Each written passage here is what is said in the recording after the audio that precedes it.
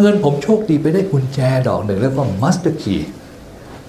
กุญแจดอกนี้มีด้ามที่เรียกว่าปัญญาสำคัญมากเลยนะ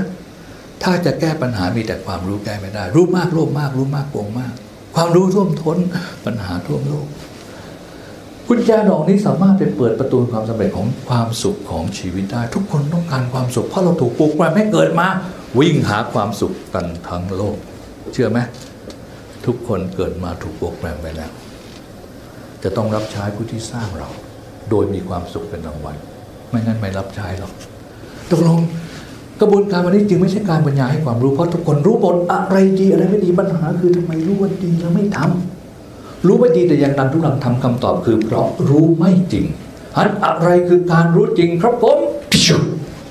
ปัญญาเดี๋ยวจะมี sound effect เกิดขึ้นเป็นครั้งคราว ใครก็อาจจะมาหลับให้สบายเตรียมสะดุ้งนะเว้ยเอาละครับตกลง พื้นฐานของการเกิดปัญญาคือสมาธิและสติ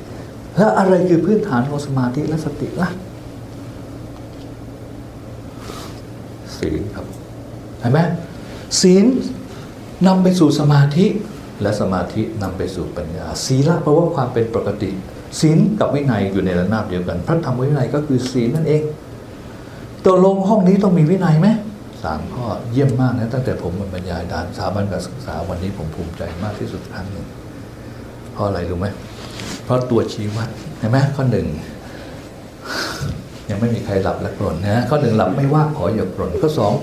ยังไม่มีเสียงมือถือนะฮะปิดมือถือและเครื่องมือสื่อสารทำเกิดเสียงรบกวนทุกชนิดข้อสาม